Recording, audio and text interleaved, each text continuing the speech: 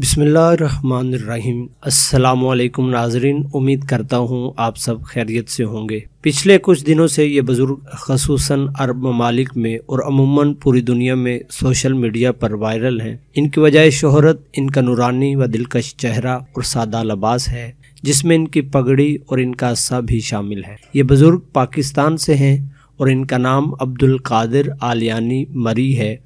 जो ज़िला हब के इलाका साकरान के रहायशी हैं सऊदिया के लोगों का कहना है कि ये बुज़ुर्ग सहाबा से मुशाहबत रखते हैं अब इन बुज़ुर्ग की एक और वीडियो सामने आई है जो बिल्कुल इसके बाद रिकॉर्ड की गई है जिसमें उन्होंने अपनी ख्वाहिश जाहिर की है आइए आपको पहले वो वीडियो दिखाते हैं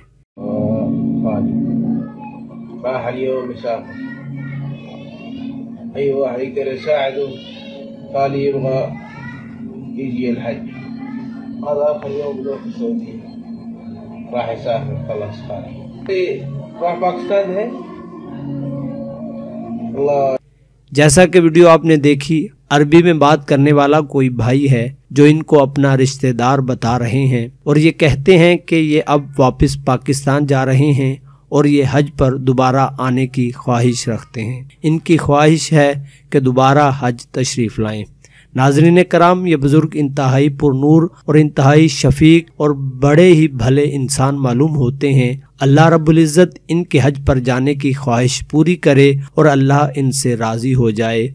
आमीन। अल्लाह पाक सब मुसलमानों को अपने पाक दर की हाजिरी नसीब फरमाए। आमीन। उम्मीद करता हूँ आपको ये वीडियो पसंद आई होगी। आप इस वीडियो को लाइक और शेयर ज़रूर कीजिएगा। मिलते हैं नेक्स्ट वीडियो में। अल्लाह हाफिज़।